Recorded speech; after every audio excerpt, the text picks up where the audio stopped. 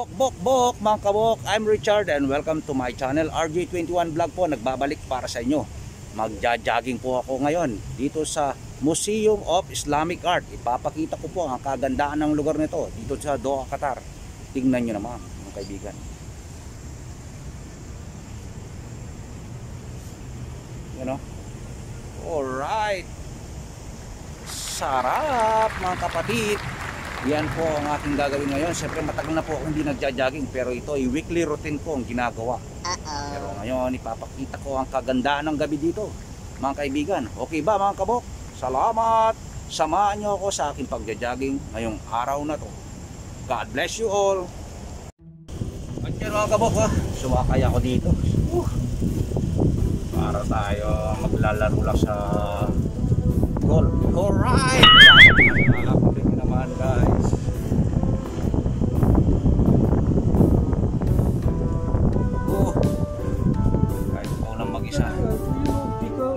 Grabe. Pico Cafe. Sarap ang pagkakas. Thank you. Kaya ako lang mag-isa dito. oh. Magwalwal lang ako. Mawawala ng aking mga stress, mga kaibigan. Sarap, sarap. Okay guys, mamaya na lang. At yan mga kaboka, mula dito sa Museum of Islamic Art, magja-jogging ako patungo doon sa looban, sa tabing dagat at merong burol doon. Ipapakita ko sa inyo ang kagandaan ng lugar nito. Bilang OFW guys, mawawala ang stress mo Ah, sa mga ganitong bagay lamang na okay.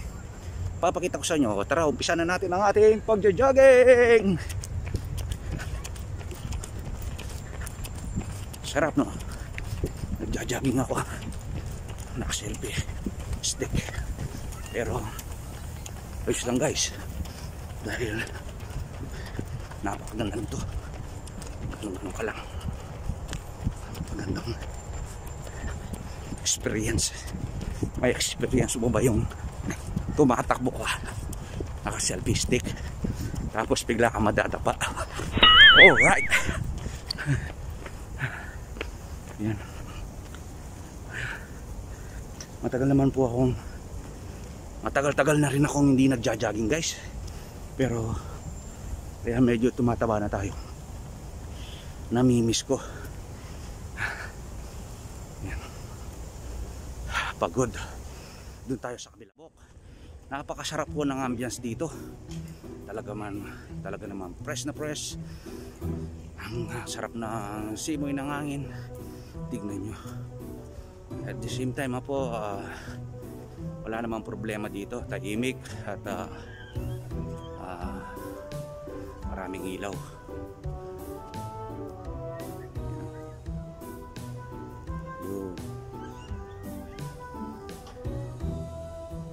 Alright mga kabok.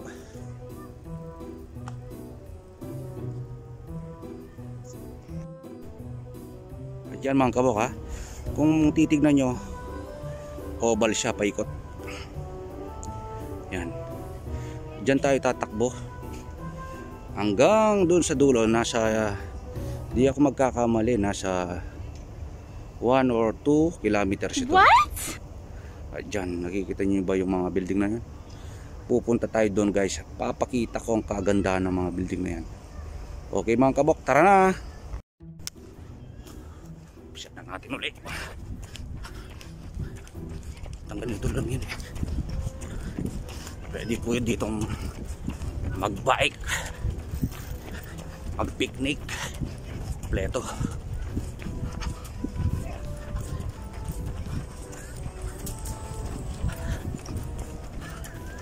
mahirap ang ginagawa ganito ah yan guys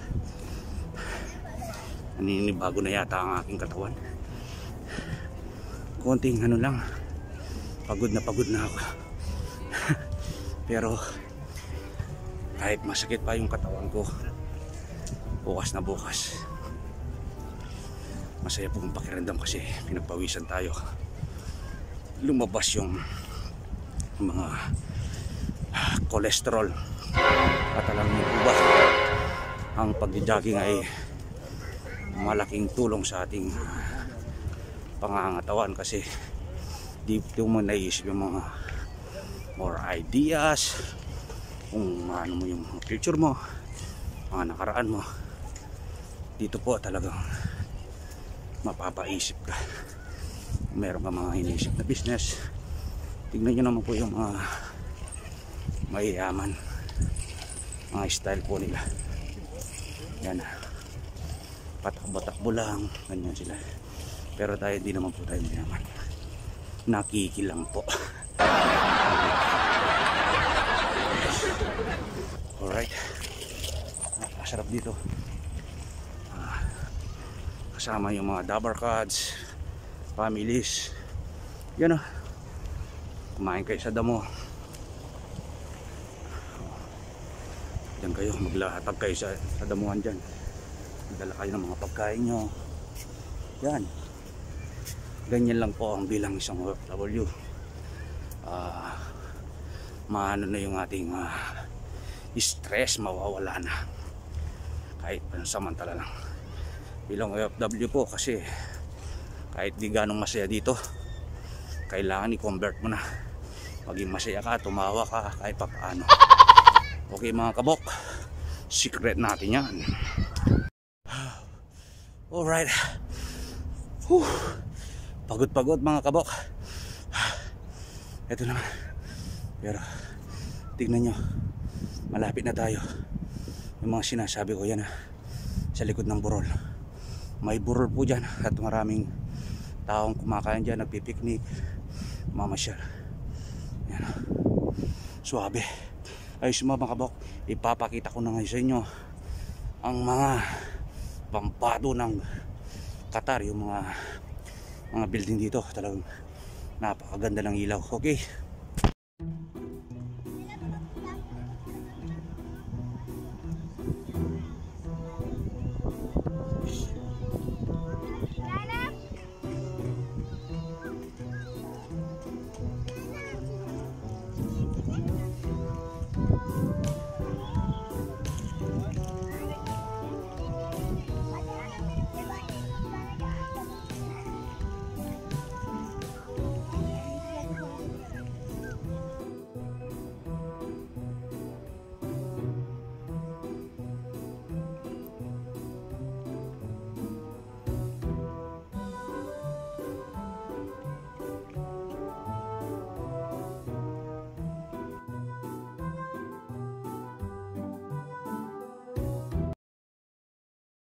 ang kabok. Pinakita ko sa inyo yung ano kagandahan ng mga ilaw dito. Pawis na pawis ako sarap sa pakiramdam. Napakasaya ko. Pero tatakbo pa tayo ng kaunti doon meron kasi ako dito uh, inaka-finish line sarili ko. Uh, yun ang pag hindi ako na, nakapunta doon hindi kumpleto yung araw ko yung pagja-jogging ko. Kaya tara samahan nyo ko okay tatakbo pa tayo ng kaunti. Malapit na lang naman.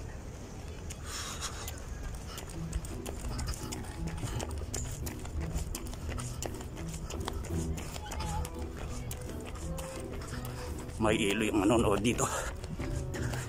Natakbo ako eh. Papakita ko lang guys sa inyo yung finish line. Talaga naman ito sarap mag jogging dito. Sa yung mga kapatid ko nandito sa mga Qatar yung hindi pa nakapasyal. Open naman siya. Pero para masigurado niya na nakabukas ito i-search muna yung museum of Islamic art kung nakabukas. Minsan kasi nakasarado siya. So depende yun. Okay ba mga kabok? At yan mga kabok ha? Ito yung uh, pinaka finish line ko. Papakita ko sa inyo yan yan tori na yan yan dyan ako pupunta pag nagja-jogging pag na, na nakapasok na ako dyan hawa ko na yan yan ang pinaka finish line ko okay guys eto kung mapapansin nyo guys doon tayo galing yun kabila yung pa-opal na yan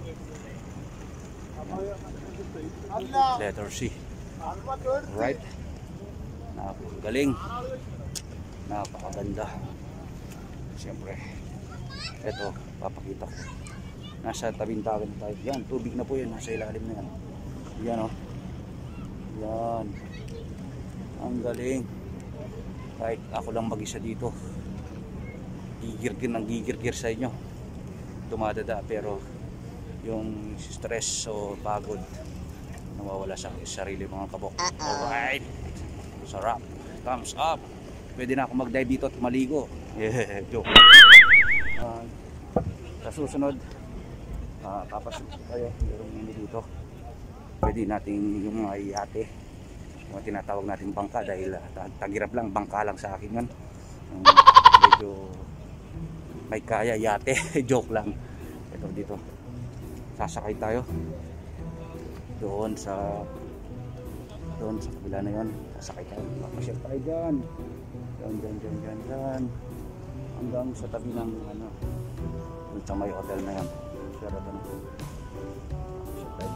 Dikit sa mga building. Pero mas maganda yon yung sunset. Pababa na yung araw para makita natin ang view ng mga building na yan makikita natin. Okay mga kabok. So yan babalik na po ako at uuwi na. Dadaan muna ako ng ano uh, Filipino food. Filipino market. Bibili tayo ng ano makakain. Gutom na kaagad ako. Papakita ko ang kalooban ng tore na to. Hindi ko alam kung makakagit ng aking camera. Yun! Sarap sa galing. Yan ang ating camera ay pang ano lang nandun na lang tayo sa middle class mahina pa sila. Malabo guys. Kailan tayo kaya makakabili ng medyo malinaw-linaw na yung talagang pang vlog na. At yan guys uuwi na ako. Eto. Doon slide natin. Babalik tayo doon ano mamaya na lang mga kabok. Takbo-takbo din. Sayang yung ano yung burn calories. Magsusunog tayo ng mga mantika sa katawan. Okay mga kabok mamaya na lang.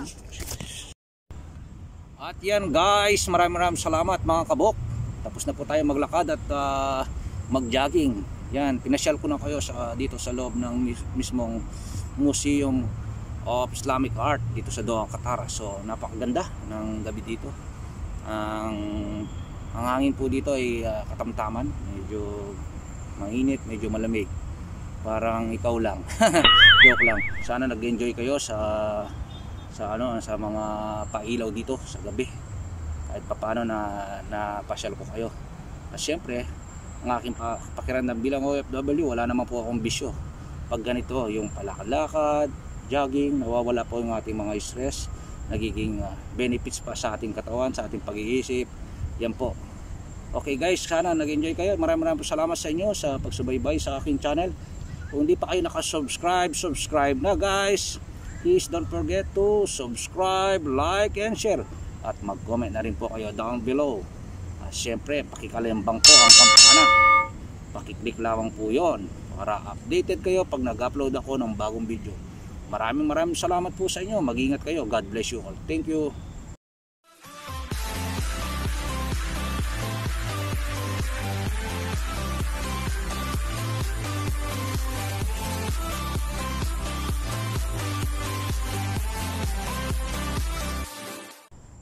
At yan mga kabok ha. Mula dito sa gate ng ah, Museum of Art of ah,